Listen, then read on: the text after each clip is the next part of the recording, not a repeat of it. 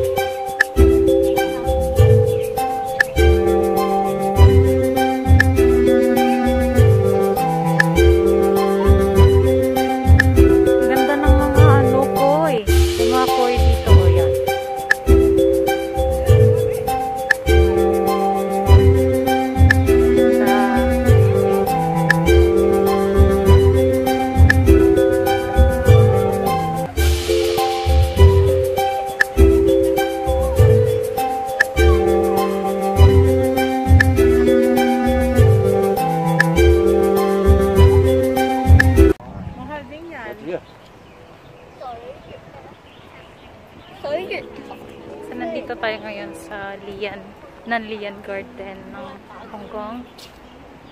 Nag-ikot-ikot lang ako mag-isa kasi yung kasama ko. Si Pamela, andun. Hindi na tumuloy dito.